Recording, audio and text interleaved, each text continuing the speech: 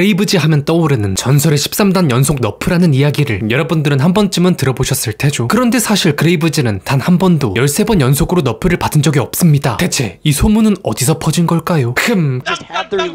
그렇다면 고! 상남자의 포스를 물씬 풍기며 top 정글 한때는 bottom까지 거의 모든 라인을 뒤흔들어 놨었던 적폐 중의 적폐 그레이브즈는 2011년 10월 19일 신선하게 불어오는 가을 날씨와 함께 우리들의 곁에 모습을 드러내었습니다. 추가적으로 희대의 적폐 챔피언 그레이브즈의 full name은 말콤 그레이브즈입니다. 말콤 그레이브즈의 출생은 룬테라 내에서 가장 상업화가 활발하게 이루어져 있고 해적의 로망스로 유명한 지역인 빌지워터 소속이며 그는 어린 시절 빌지워터 부두가의 후미진 뒷골목에서 자라며 싸움과 도둑질 등 훗날 유용하게 써먹게 될 여러 가지 기술을 배우게 되었죠. 그러나 영 벌이가 시원치 않았던 건지 그의 야망을 충족시키기에 충분하지 않았던 건지 그레이브즈는 슈리마 본토를 향하는 배에 몰래 몸을 실었는데 이 선택이 훗날 그레이브즈의 인생 궤도를 아주 크게 바꿔놓게 되었습니다. 그가 만난 인물은 바로 오늘날 트위스티드 페이트라는 이름으로 알려진 유명한 사기꾼이었고 위험과 모험을 즐기는 이 두 사람은 한눈에 서로를 알아보아 한 패를 꾸려 도박판을 휩쓸며 아주 짭짤한 수입을 올리게 되죠. 그레이브즈와 트위스티드 페이트는 녹서스의 명문가를 휘젓기도 필트오버의 금고를 털어버리기도 하며 룬테라를 돌아다녔죠. 하지만 그들의 운도 거기까지였을까요? 크게 한탕을 하려다 그만 계획이 틀어져 버렸고 그레이브즈는 안타깝게도 현지 집행관들에게 붙잡혀 버리고 말았습니다. 이를 본 트위스티드 페이트는 어쩔 수 없이 그 자리에서 도망치게 되었죠. 그렇게 범죄자 수용소에 갇힌 그레이브즈는 수년간 독방에 갇힌 채 고문을 당하며 옛 동료에 대한 증오심은 날이 갈수록 깊어져 갔습니다. 마침내 자유를 되찾은 그레이브즈 그는 수소문하던 끝에 고향인 빌지워터에 돌아갔고 그곳에서 현상금이 걸린 채 쫓기고 있는 트위스티드 페이트를 마주하게 되었지만 주변의 어지러운 상황 탓에 당장에 그들은 힘을 합쳐 싸워야 하는 상황에 놓이게 되었다는 게 그레이브즈의 간단한 스토리의 내용입니다. 하지만 왜일까? 최근 라이엇이 공개한 철부지들과 봄볼로니라는 소설에서 그레이브즈는 트위스티드 페이트에 대해서 친구가 아닌 그 이상의 호감을 가지고 있다는 사실을 자각하게 된다는 내용이 나오게 됩니다. 그러나 이러한 설정에 유저들은 캐릭터의 설정도 외형도 in-game의 강력함도 모든 것이 완벽했는데 기존에 있던 설정을 왜 억지로 변경해 버리냐 이럴 거면 애초에 출시부터 컨셉을 그렇게 만들어야 하는 게 맞지 않는가라며 수많은 비판이 오가는 중이기도 합니다. 그레이브즈는 주 역할군이 원거리 역할인 챔피언들 중에서 425의 사거리를 보유하며 압도적인 꼴찌의 자리에 위치하고 있습니다. 하지만 반대로 원거리 역할 중 18레벨 방어력은 1등인지라 후반에 가면 갈수록 쉽게 죽지 않는 챔피언이기도 하며 협곡에 몇 없는 장전충의 계보를 이어가는 게 바로 말콤 그레이브즈이기도 하죠. 오죽하면 그레이브즈나 진 이들의 hard counter는 ward, pink ward다라는 소리가 나올 정도니 말이죠. 그레이브즈가 들고 다니는 어마무시한 크기로 보여지는 무기 이 무기는 별의별 무기들을 다 때려박아 마개조한 산탄총이며 이 총의 유무로 인해 그레이브즈의 멋이 한층 더 부각된다고 봐도 무방하죠. 그레이브즈의 과거 기본 일러스트를 보면 시가를 한대 간지나게 물고 있었지만 2014년 11월 그레이브즈의 일러스트 가 변경되면서 그레이브즈가 물고 있던 시가가 삭제되었는데 이를 본 북미 유저들은 라이엇의 검열 정책을 강하게 비판해 2017년 4월 PBE 서버에 다시 시가를 문 일러스트로 변경된 적이 있습니다. 하지만 별 이슈가 없었던 탓인지 한국 서버는 아직 시가가 삭제된 일러스트를 채용하고 있죠. 최근 레전드 오브 룬테라 빌지워터 확장팩 발매와 함께 미스포춘 트위스티드 페이트의 상호 대사에서 그레이브즈가 금연 중이라는 사실이 밝혀졌죠. 시가 이야기가 나온 김에 그레이브즈의 근본 스킨 범죄 도시 그레이브즈 역시 입에 무언가를 물고 있으며 이 스킨의 과거 명칭은 마피아 그레이브즈였습니다. 그래서인지 아직도 이 스킨을 마피아 그레이브즈라고 부르는 사람들 역시 다수 존재하죠. 또한 이미 유명한 사실로 수영장 파티 그레이브즈의 일러스트는 휴잭맨의 이 사진과 핏줄의 위치까지 동일할 정도로 굉장히 유사합니다. 추가적인 스킨의 TMI로 시공간 침략자 그레이브즈는 in-game에서 대사가 존재하지 않죠. 자, 과거에도 현재에도 협곡에서 미친 인기를 내뿜고 있는 그레이브즈는 아주 거대한 리메이크가 한 번 이루어진 챔피언이기도 합니다. 과거 그레이브즈는 지금처럼 장전충 형식이 아닌 타 원딜러와 똑같은 메커니즘을 지니고 있었으며 과거 Q 스킬은 현 재와 전혀 다른 광역 nuking, 미친 폭딜 스킬이기도 하였죠. Q 한 방에 minion이고 챔피언이고 뭐고 그냥 다 녹아버렸으니 말이죠. 다행히 나머지 WER 스킬은 과거나 현재나 비슷한 메커니즘을 지니고 있는데 다행 맞는 거겠죠? 그랬기에 현재 정글과 탑을 오가는 그레이브즈는 과거 원딜라인에서 천하를 호령했던 챔피언이기도 하였으며 아니 원딜 숙련도가 그렇게 높지 않은 사람들도 그레이브즈를 pick하면 최소한 1인분 이상은 해낼 수 있을 정도로 newbie가 사용해도 강하고 장인이 사용하면 더 강한 그런 pick이었죠. 그렇다면 과거 극악의 적폐 명성을 떨치고 있었던 그레이브즈